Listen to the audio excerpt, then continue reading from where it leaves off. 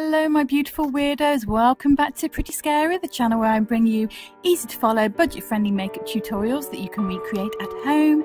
Now, firstly, I just want to say I'm very well aware that there has been a huge gap in my channel. I want to thank you all from the bottom of my heart for sticking with me, staying as my subscribers, and continuing to watch the content that's already here.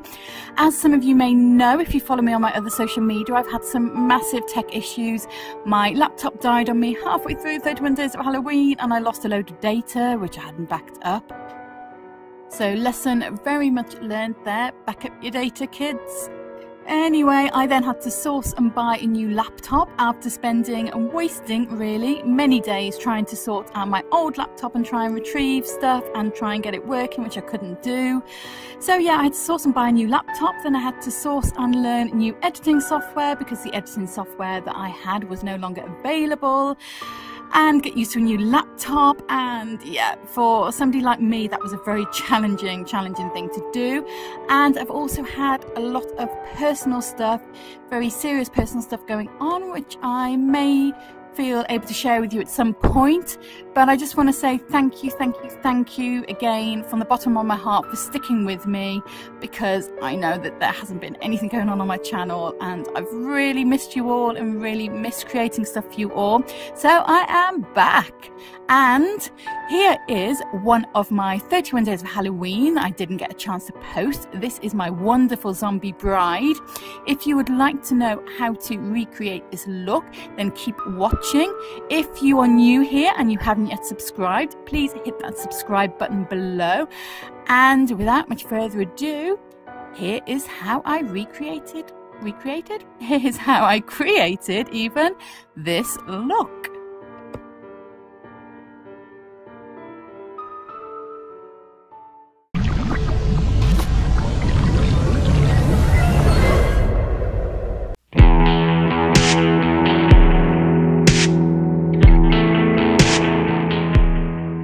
First things first, time to make the headdress. I just took a cheap headband, which I got from the pound shop or dollar store in America, and I ordered some fake flowers from eBay, which had bendable stems, and I basically just wound them around the headband and then use a little bit of hot glue just to secure those in place. I shall dig out my link for the buyer, the seller even that I bought this from um, you can tell it's a while since I've done a voiceover. I actually can't talk.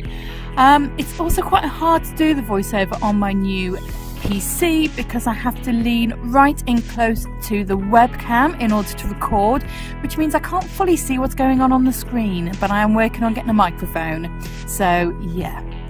Anyway, so I just worked out where I wanted the flowers to be and made sure I had a nice even spread of the colours and of the kind of shapes and sizes of the roses. And once I was happy, then I put it to one side and I decided to make some maggots. I crafted the maggots just with my fingers and nails out of Crayola Mod oh, Model Magic, which is a soft air drying clay. It dries to a foamy consistency and is nice and light so you can make pieces to stick to your face. And then after a quick cake break, I then took some Snazaroo cream white face paint and just stippled that over any areas that will be on show, aside from the area where there will be the exposed eye socket. After powdering that with some translucent powder, I then took a sponge and pulled some bits out of it to make a nice texture. This is great for creating veins. I then dipped it into some very watered down black face paint, dabbed it on a tissue and then just started stippling it all over that same exposed skin. And as you can see, it creates a nice kind of mouldy, veiny texture on the skin without any hassle whatsoever.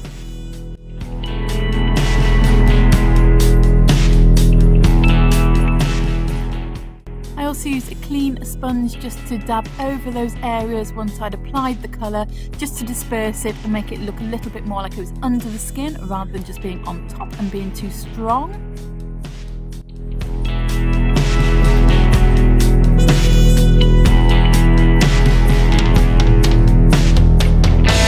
Then I took some deep grey eyeshadow and started carving out my features as you are a corpse bride, you'll, you'll want to be nice and hollow.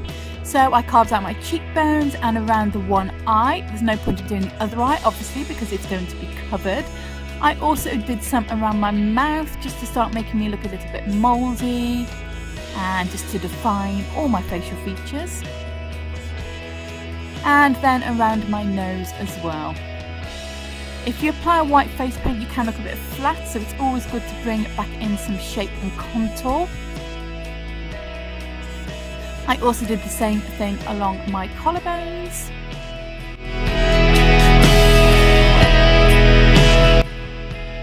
And also in the hollows of my neck.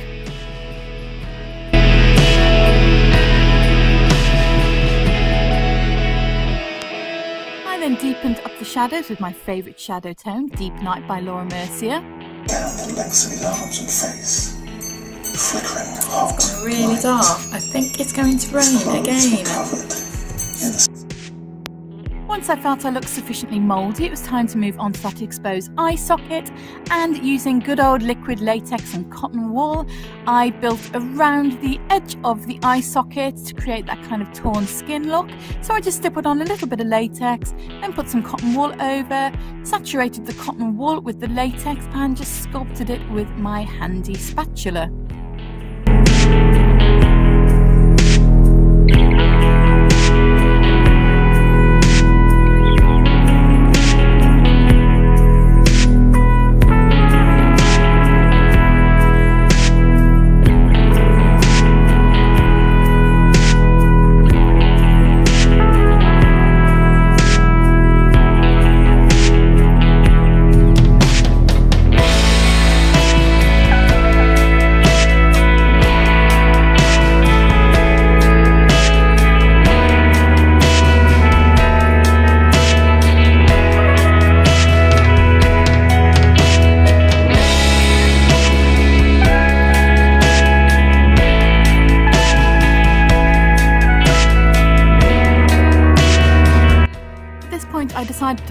My brow. I'm not really sure why because I stick muslin over it anyway, but I did.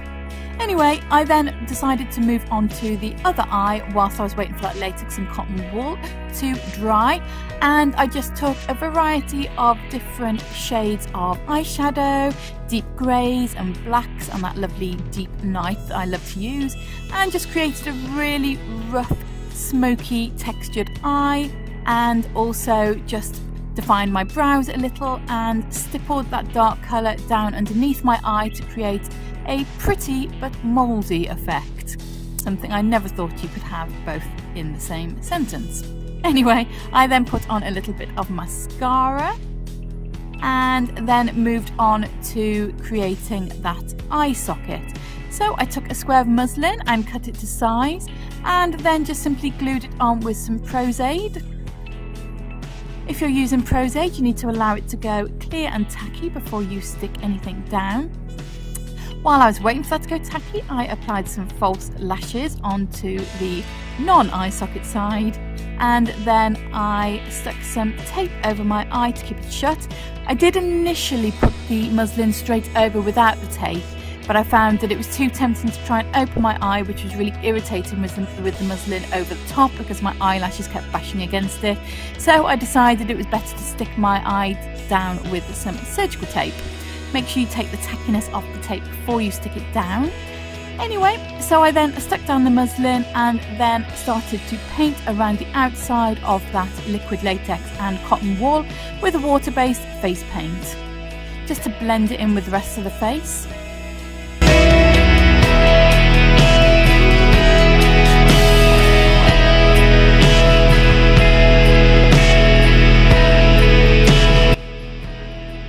Then painted around the muslin and just painted all of that white because this is your area of exposed skull. I then took a dark brown and painted in the eye socket. Now you might wonder why I didn't go straight in with black. This is because I wanted to create a more realistic effect by creating a gradient of colour rather than it being solid black. This gives you a much more realistic look. I then went into the centre of that with black and you can see the kind of effect I'm starting to get. Then I decided to move on to painting the outside of that torn skin whilst I was just waiting for that muslin to dry because obviously water-based face paint does take a little bit longer to dry on fabric than on your skin. So I painted a nice pink around that torn skin, blending that out with a fluffy brush as I went. I brought this pink down onto the face to create a nice rotten torn away skin effect.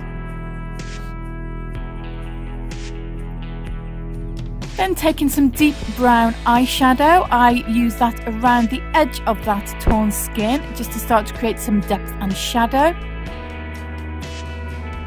I then started using different shades of browns to create the shading around the eye socket to make it look more realistic and to stop the edges looking too sudden and sharp. Then with a mixture of yellow, brown and white I started to tint that bone around the eye socket because I thought it looked a bit too white and stark and not realistic. It would look a bit more of a creamy off-white colour, especially if you were a mouldy zombie. I also used it to blend around the outside of that eye socket more so that there was a nice gradient from the deep socket to the exposed bone around the edge.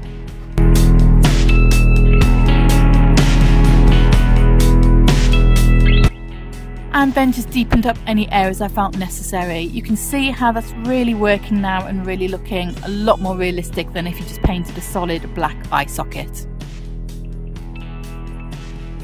Then using those deeper tones of the water-based face paint, I use those to just deepen up areas around that torn skin to create some texture and interest.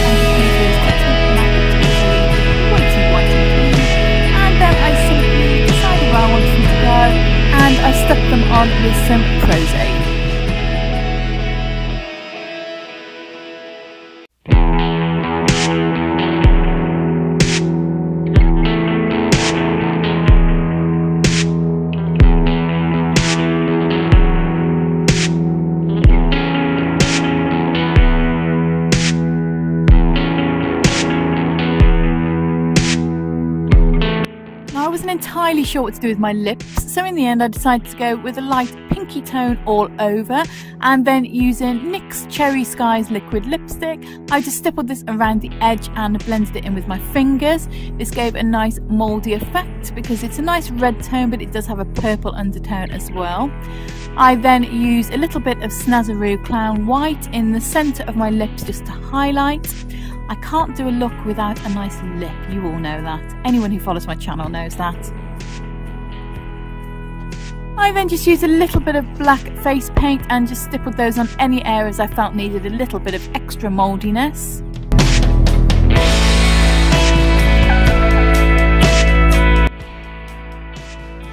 And then I applied my headdress, messed up my hair around the headdress and got some old flowers and a nice veil and you are done. So, thank you again so much for sticking with me, Beauts. I hope you enjoyed this video. Thank you so much for watching. Please subscribe if you haven't already. Comment and let me know below what you think of this video. And ooh, look at my lovely new effects on my editing software. Love you all. Bye.